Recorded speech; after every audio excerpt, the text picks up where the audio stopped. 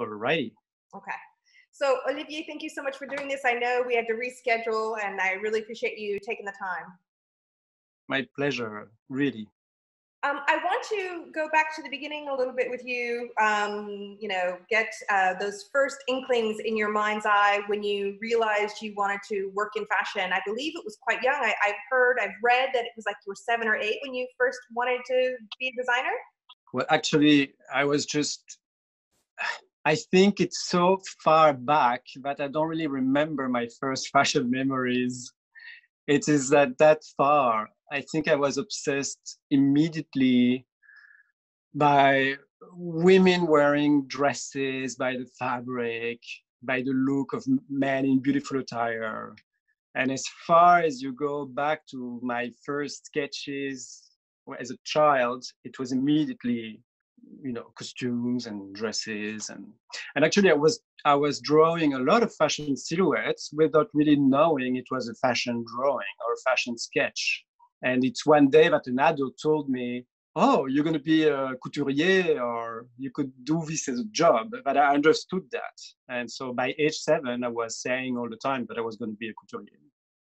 Well, you called it. Um, I was really surprised in doing some research on you that when you you went to one of the most prestigious um, fashion schools, uh, La Cambre, yeah, am I pronouncing that mm-hmm. right? Um, yeah, yeah. And and then you didn't graduate you left you know through your studies to start your own label what gave you the the the balls let's say to, to decide i'm going to leave and go and launch my own line now what happened in your mind's eye that you're just like let's do this i don't know what actually happened it's strange i i think i i follow strongly my instincts there was something is that i mean i was pretty young i was 19 and there was something everything was going very well at school but uh, I, I, was a little bit like bitter slightly angry i had like a lot of stress financially for these collections and i was very stressed to ask help from my parents mm-hmm. to do student collections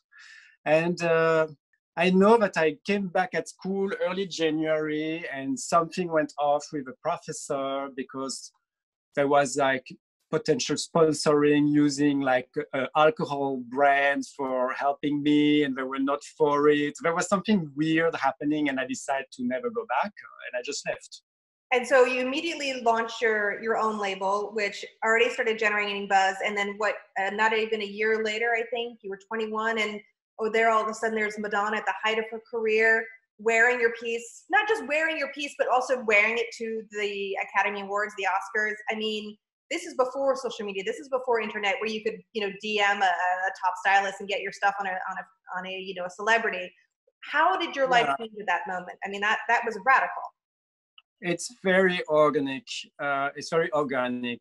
Actually while i was at school i was already helping with stylings assisting on photo shoots or and I, I did an, I was an assistant, a dresser assistant on a show that was on the coast of Belgium, and I think I was assistant to the D squared, Dean and Dan. Oh wow! And uh, I was assisting for dressing up the boys, and then uh, the year later, this was happening again, and it was the year I left school, and so I, I had been making clothes at home and everything, and I the guy who was producing this event was uh, Etienne Russo, who's like Villa Eugénie. They, are working a lot still in fashion for very important shows today, but at the time he was mostly working in Belgium, and he was already doing the Dries Van Noten shows in Paris. And I visited him and showed him my clothes with a model friend, and he was okay to put me in the show then I got at the time Cookie Salvert, who was a mm-hmm. PR, famous PR in Paris, who spots my collection and said like, I can present your collection for for free. Just bring the clothes to Paris and I put them in my showroom. It just started so organically. Mm-hmm, mm-hmm. And but what was it like that moment when when you discovered Madonna was wearing your piece? Did you know she was going to be wearing it to the Oscars? I didn't know, but actually, she wore some of the things I did before that. Mm-hmm. And uh, actually, it's on my birthday on January 4th that I received a fax from Inez van Lamsweerde and Vinoodh Matadin. And they were requesting clothes for a shoot styled by Arianne Phillips on Madonna. And I received this fax. I still have the fax. Wow. It's on my birthday. And I sent them the clothes. And so she she started wearing some of them, using them in photo shoots and uh, photo shoots, and wearing them for the launch of her then uh, new album. And um, no, that was very very helpful for me. But many of the of everything was helpful. I think still today for a person who's starting, everything is helpful. But at the time, I also had Isabella Blow, mm-hmm. who picked some clothes and put them in on on the cover of. Uh, of uh, the Sunday Times, the, the, the, Sunday edition where you have like a fashion ad. I got uh, Karina Givargisov, who did an article in the Face magazine and was still like, I wasn't yet a designer, sort of. And some of these people, they did amazing for me because everybody was reading the Face magazine or looking at the styling from this person and like paying attention to the new names and yeah you had i mean you definitely but i think that you know real creatives when they see great talent and i'm not just doing this because i know you and you know trying to be nice but when you see great talent you want to support that great talent. And you were pretty much in the late 90s and the early 2000s like the it designer coming up and coming designer and you were yet and you were so young at that time still how did you deal with the pressure of being the, the hot young designer at, at that time when you were so you know early in your career? Well i wasn't aware of that. I wasn't aware. I, I think i mean my friends probably would joke about it but I, I, I can be a little bit naive.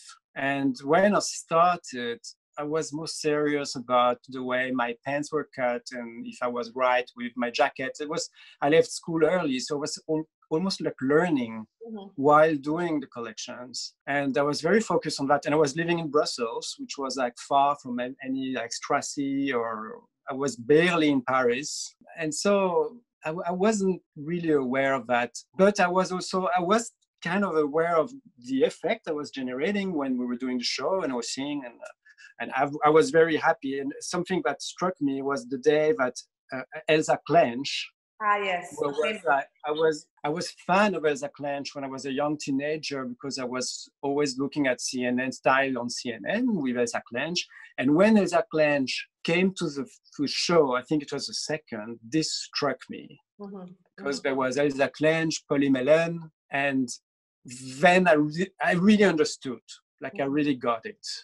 I was like out of school at the moment this kind of person starts appearing and I was understanding. That's crazy. Mm. And then quite quickly, because you, like we said, we launched in uh, 97. And then by 2002, Rochas came knocking at your door what made you decide to take that on? And then at that point you kind of decided to put all your energy into that and close your namesake brand and to focus on that. And it was also so different. I, i'll never forget that first show you did. I mean it was just the, the shape the, the hump on the back let's say. It was more it's more elegant than that but i don't know how to explain it otherwise. And and you close your own and you open a Rochas and your own brand was very dark colors very goth people had described it at the time. And this was just so different. It was so feminine in its own way, very, you know, very romantic and very different shapes and proportions.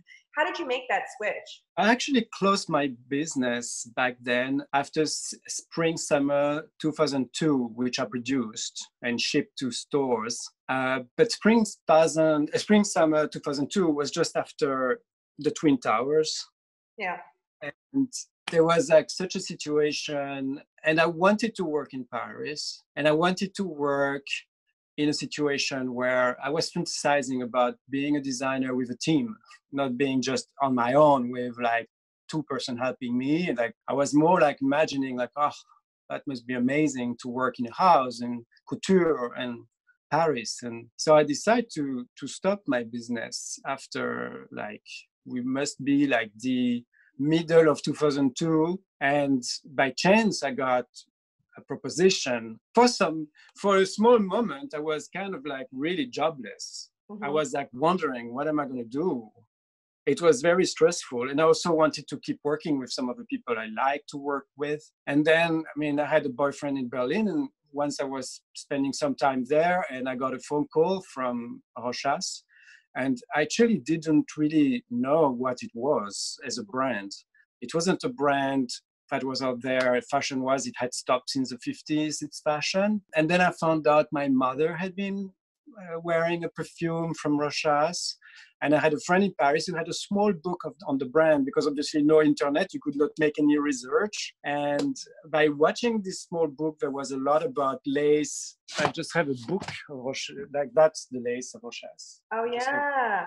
And i even have like the old book like that was the book that he had shown me so it's like an 80s book. It's uh, everything is black and white, you yeah. see. So that's maybe from it, like there was 10 pictures that I like it in the whole book, and that was enough. I was like, there are like little birds here, like black lace, chantilly, my favorite. So that's probably what I should do. And so tell me a little bit about how the what it was like for you because you had you know the, your time at Rochas, you were creating new silhouettes. Everyone was talking about you. You did that in from till 2006 and then you and then they just kind of at the same point that you're getting the awards for like the CFDA International you know Designer Award the Rochas decides to close its fashion department at that same time. Was that like a like a slap to the face? What how did you react to that? I mean was it were you already like seeing the writing on the wall? What was that experience like? Well the story is longer. Um, it's funny because it's a whole like that makes me think of someone make, makes me think of sally singer because when i was closing the Theyskens house, the small Theyskens house, I did a draw a collection in case I would continue. Mm-hmm. And Sally was working on an article and she came to, to Brussels to visit me. And so she was aware of the collection I was doing for myself. And I was working a lot about the 50s in a bizarre way for Theyskens, mm-hmm. in a mm-hmm. very rock and roll way, more like rockabilly sort of way and like destroyed new look sort of way. And i shut the, the my, my thing. I go to paris and i start being involved on Rochas and then sort of like sally came back on on following up with what i was doing and uh, i was completely stuck in the 50s like I- imagining reshaping and uh, reapproaching all of that in a, in a, in a more couturier gesture. It's very funny. So I had signed maybe six months and I had already done maybe my first show. Mm-hmm. And then I was having like a tea with Sally, and she announced me, "Have you seen that Procter and Gamble just bought the group uh, uh, that owns Rochas? Because mm-hmm. Rochas was part of a group, a European group, a smaller group of perfumes. They had Gucci, uh, several nice perfumes, and they got bought by Procter and Gamble. And I was like, "Whoa, that's great! It's going to be better, bigger, yeah, more funds, yeah." Yeah, nice. And in the end, I mean, it was a long process because almost even more than a year before we were discussing about the problematics that Procter & Gamble was facing because they had no interest in fashion. They had no one was really taking care of any fashion brand there because they had any. Mm-hmm. They were very, very big, very specialty of perfumes or chemicals or these things, and they had no one to any make even like a management decision mm-hmm. on what they were doing. So they couldn't continue it. Mm-hmm. So for a while, I was hoping we would find a solution, eventually sell the brand or do something. I, I tried to do, I, I, see, no, it's like so far back, like we're talking yeah. about something 50 years ago. I have no problem to talk about it anymore. But at the time I was, I was, it was a big silence. I was really careful to not talk about it because it was too tricky. I, I was really hoping that someone would take the brand or, but I eventually we could continue. And then also the other part of was like, maybe it's better I don't continue. Mm-hmm. We were still at that time used to see designers staying like 20 years in exactly. a house. So I was already like the fourth year. And uh, one person who was working as a general director at Rochas at some point but left uh, called me back uh, and I was still at Rochas and he was now at Ricci Mm-hmm. And he was like, Well, we would like to hire you. And so I was like, Okay, if Rochas stops, I come. So I came. All right. So it was. We did, a, we did a resort for Rochas in July. Then we had like August month and September was at Ricci. And wow. there were 14 employees from Rochas who were drift from Rochas to Ricci. So it was incredible for me. I could keep my team and they could come accompany me there. Another perfume focused label know what is that like for you to go go so dramatically from one to another label. Again, a house where there isn't a really clear definition history for what Rochas represents. The same thing that you have with Nina Ricci. And, and, how do you switch gears so quickly like that and, and come up with a new idea or a new aesthetic or were you just like i'm me and i'm gonna and now we're just gonna call it you know this i think it's natural for me like i i i can do it um i i sometimes i compare this to the people can be actors mm-hmm. they can go from one way of playing to another way and they're still themselves but somehow they can play different characters and I, I, I am I want to be very honest with my design and especially when i work for another brand i want to create designs that are relevant for that brand mm-hmm. so when you start with this mindset you can approach any potential brand and imagine authentically what would be right for them what would be exciting for them mm-hmm. and i also in the same way i quickly know if something would inspire me or not it depends of the richness of the heritage or, or if there is something that I think is like a strong element that I can creatively really develop on. Mm-hmm. And people marketing wise, they speak about the DNA. It's a bit a, a horrible way, but essentially it's kind of true. Mm-hmm. Brands, they have a DNA, they have like a, an, a world that sort of like works with them and you can enter that world and and being yourself you can really develop things for them that are different.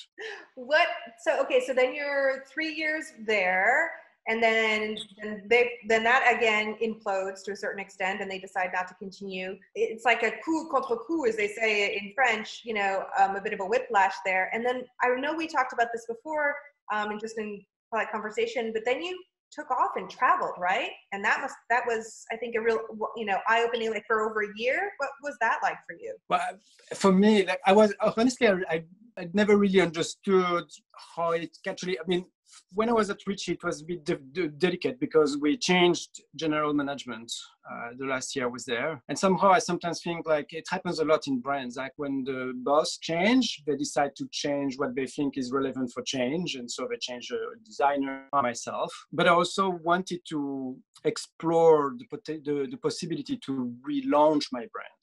Mm-hmm. And uh, and maybe it's because it was more you know the environment of that time i was sort of like surprised by what my girlfriends were able to buy uh, with a very good budget kind of like clothes 100% silk here and like with details there and like also they would go in a more mass a more accessible mass market brand they could find something nice mm-hmm. um, and i was like surprised because I had experienced before that if I would do just a simple shirt, five buttons, one pocket, it would already cost 500 euros in store. And whatever the price of the fabric, a cheap polyester, it would be so expensive. And I wasn't understanding why.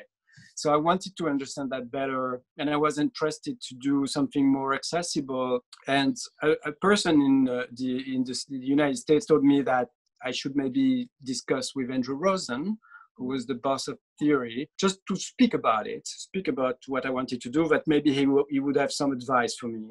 Mm-hmm. And when we met, we sort of like, sort of like worked.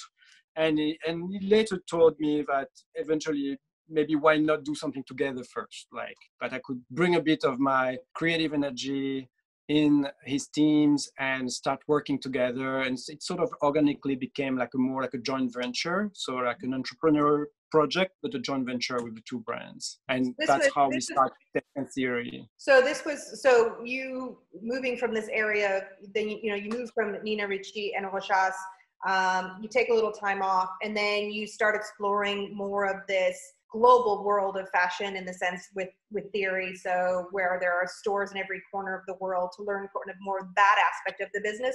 Was that what was interesting to you? It was very interesting. I also think that it was the let's say the golden age of the mid market mm-hmm. i think 2011 to 2015 was particularly special mm-hmm. for the mid market sector. I don't think that today is the same but I think at the time, it was like the beginning for me where brands that were more accessible was kind of like were tempting to be more stylish or more fashionable.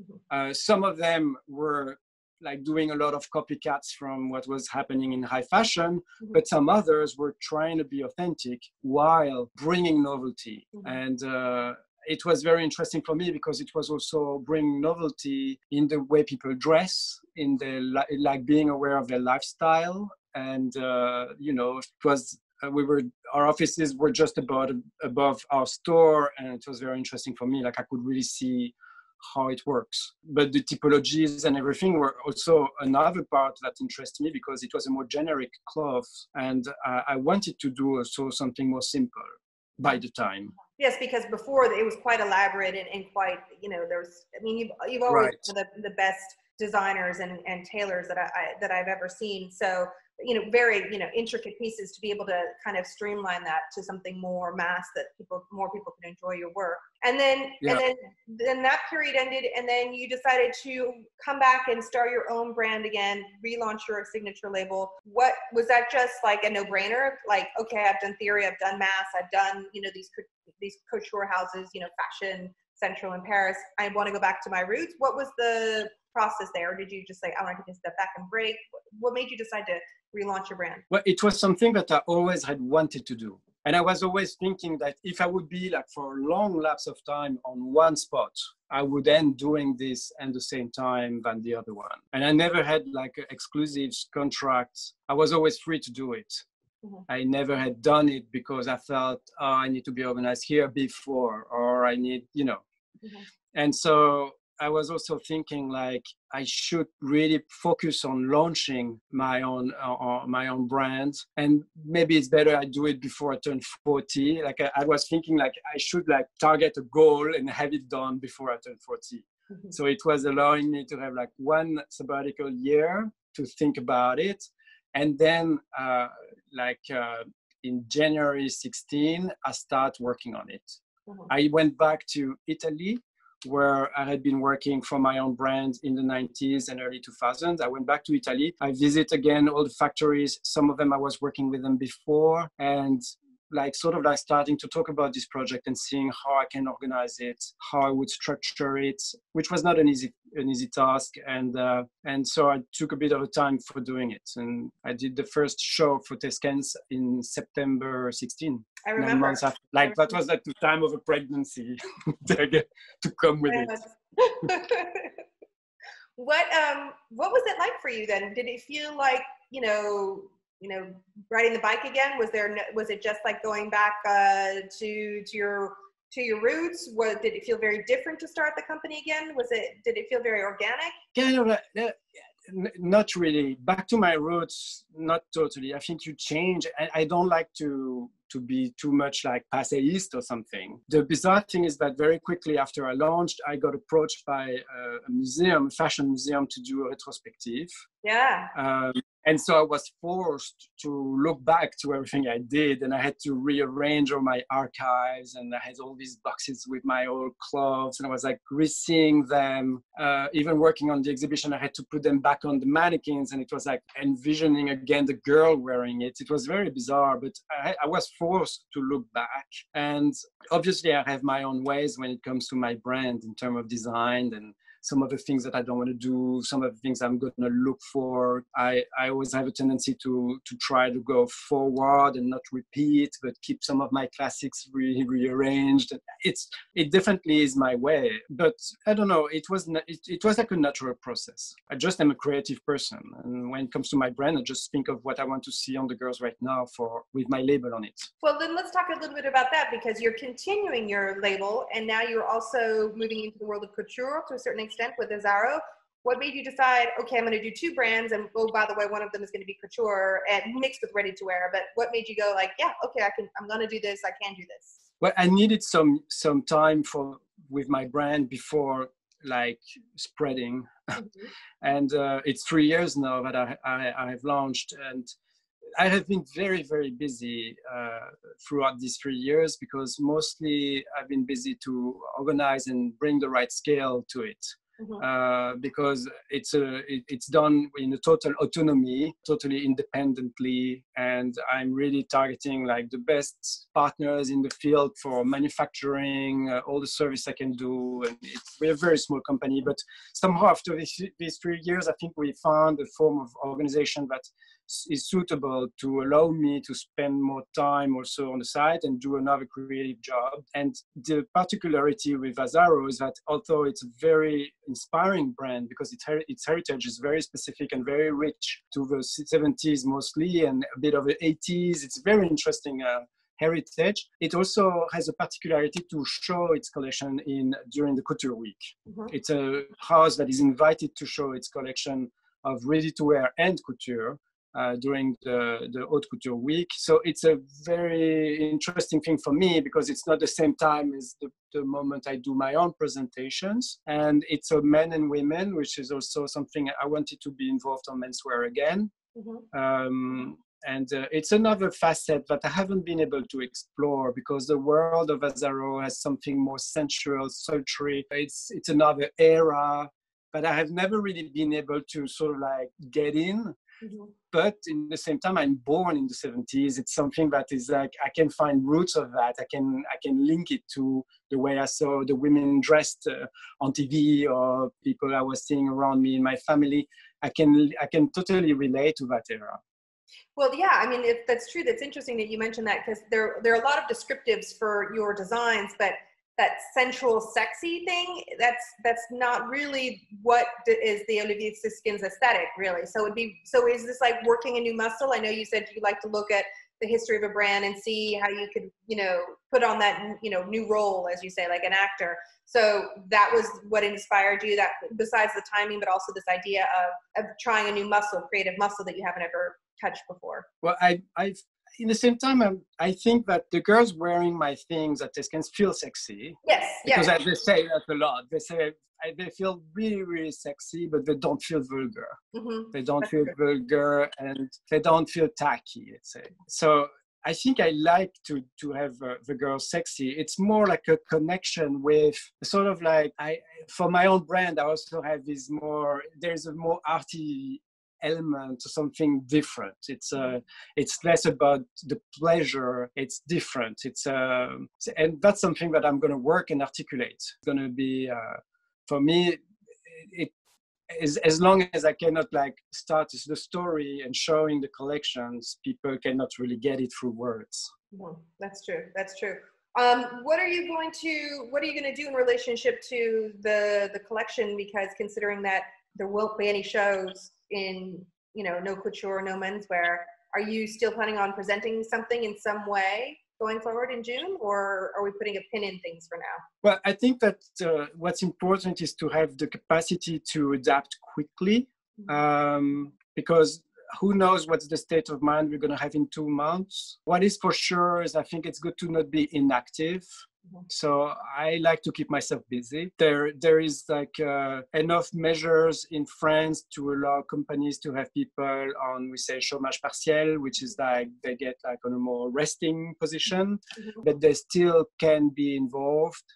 And uh, so, and I myself like to keep designing, drawing, sketching. The thing also is that I mean, we are in Paris, so the minute people get back to work, they go fast. These guys, they go fast. so we see. What it's like, for me, it's still a question mark. I think it's yeah. a question mark. What I think is that we are all going to be open minded to, you know, how people are going to do things, the scale of what they do, mm-hmm. the um, tempo of, like, we're going to be very open minded and very permissive. Mm-hmm. Um, but still, people that are passionate are going to work at doing things the best they can Always, always, always. What has it been like for you? I know your pieces when you're earlier, you know, your stuff is very couture in nature, anyways, as it is, but has working for a couture house or doing couture pieces does it feel anything different at all? Are you learning anything with with uh, with what you're doing with Azzaro, or, or are you bringing more to the table? Would you say? What I think I'm learning is that I can unfold something else from me. That's definitely that's always a good learning. That's why that's that's probably the actor thing that is like excites people who are working in the in, as actors is like doing a new role they get like discovering things about themselves probably. But for me um, what was the question again? No i mean because i was the question was you talk about couture you know your pieces are oh yeah yeah, yeah no I, the, I think it's uh, it's going to be interesting to work uh, closely with the atelier. Uh, there is an atelier uh, in the house which is very exciting. Obviously, the people there have more experience, life experience, so they are vulnerable. Mm-hmm. Uh, so we take care of them a lot. So I don't know when I'm going to actually be able to sit next to them and work with them. When it comes to working with the the embroiderers and all these you know like people connected with couture i've i, I have the experience i've been working on special pieces and i've been able to enjoy working with them mm-hmm. um, i kind of know a little bit of people how they work in that field mm-hmm. i never thought that i could because i'm into ready to wear i would not be able to touch couture i always think that it's it's just it's it's very simple to touch couture. You just do a couture piece, uh, whatever it's like. When you want, you do it. So I've never felt like I'm gonna have to wait until I'm like getting like a haute couture job to learn about it. Like I've always been focused on that. Mm-hmm. But it's exciting to know that actually we have a reason to do couture pieces. But the thing to know also is that I think is interesting, and especially with me involved, is that the collection we show is ready to wear with a bit of couture, mm-hmm. which is something that I always naturally did for myself too. I always did like from simple pieces to extravagant pieces. I've always felt there is not really a borderline. There is like a, it's more like a, something fluid. Mm-hmm. I agree. I agree that that I mean it actually seems very much in organic in keeping with with the style that you've pulled through your entire career this mixing of, mm. of very unique pieces and pieces that are much much more wearable i, I think that your career yeah for that yeah yeah yeah yeah yeah. all right Olivier I, it's time for the five generic fashion questions. What okay. is your favorite piece of clothing that you own? That i own? Yeah yours. No i like some of the helmut lang pieces i bought when i was like still at school. Ah because that was the thing. Like these guys, like Ann Demeulemeester, Helmut Lang, Dirk Bikkembergs, they were doing clothes that were expensive but affordable for students. Mm-hmm. It wasn't. It wasn't a pure luxury. It was like something you could get some of these if you were like brave enough to work on the side of school which piece for for women or men you know uh, not everybody can afford something you know from a designer brand or something like that but if there was one garment that you think that a woman or a man should really invest in what would you say that is? Cashmere anything cashmere i could i sincerely i don't i mean invest now. Cashmere can be like so cheap. But actually it's still invest, an investment. It's still a quality qualitative fiber. It's just that for me, it's the nicest to have on yourself.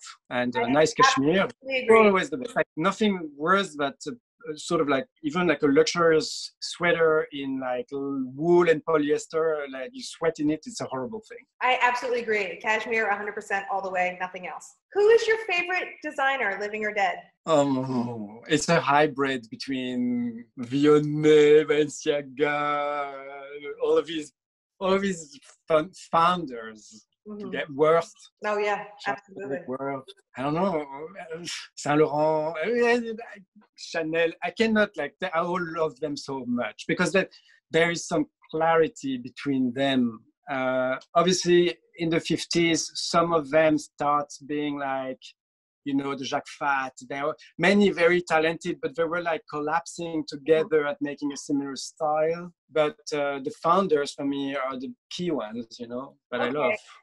What about, all right, my, next, my second to last question is what trend will you never follow? I think it's uh, the difficulty with me is that even when I try to follow a trend, I don't, I get, I get out of it. Like I, so it's very, very tricky, but um, it, it's bizarre because for it's three years now but i'm like focused on natural fibers. I'm not doing synthetic stuff like and three years ago it was like it looked like a decision that was counter business and i think that today it's definitely better to focus on the beautiful fibers and stop with this dirty polluting thing you know what I mean? Absolutely. It's Absolutely. strange. And so these trends of nylon thing, and I mean, the sport is great. Sport clothes are amazing. It's modernity. There is a lot of research and all of that. But luxury that starts selling in a high cost, like a deep, dirty nylon, no. I just think it's a ridiculous thing. I'm sorry. I'm sorry. But that's although I like that real. I mean, obviously there must be uh, amazing nylon things at Comme des Garçons, uh, but it's just that as a trend, mm-hmm. that's why I I start being like I start being very nervous when everybody start making fake fur because fake fur is a highly polluting item. It's terribly pollu- terribly polluting, and uh, I, I, couldn't hear that thing about the fake fur. Like, sorry.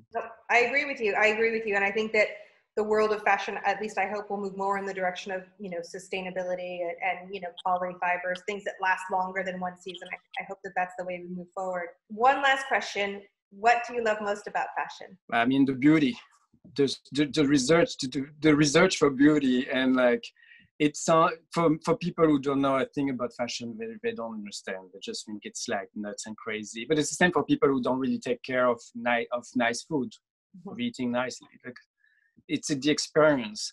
Fashion is something to experience, of mm-hmm. course, and but at the same time, it's also to be able. It's also good to to to be able to live without it. Like I'm very happy without it too. But what I like is to project an idea of research about beauty, research of aesthetic. There is a lot of very nice virtues and qualities. Uh, and for me, the thing is that it's one of the things I, I don't have to really much question because it's like it was a natural thing I had. I, I directly have been obsessed with it. And because of what? Because I thought women were beautiful. So that's why I got very like I think that the the contemplation, the admiration, the obsession of of that is one of the biggest pleasure I have since a child. Then that's maybe why it's natural to me. That's what I like. That's amazing that you're able to to have this dream of childhood become such a reality, and that you're living your dream life to a certain extent. That's wonderful. Yeah, but you can. It's it's so natural that you don't think about it anymore. Like mm-hmm. I, I the pleasure is a, is is disguised it's mm-hmm. very buried deep within because uh, people who see me every day they cannot really read how happy i am about doing that. I'm just focused and i'm serious about doing it. But I, if i really stop and i know that it's because it's about it's an expression of beauty that i'm like seriously trying to figure. And um, and it's not like i'm not on on my in my behavior. I'm not like oh, i'm happy. Like it's like no i'm like serious. Happy on the inside olivier. Happy on the inside Okay. Thank you so, so much. This was such a pleasure. Thank you, thank you, thank you. My pleasure, Jessica. Big kiss. Bye. Take care. Bye-bye. Bye.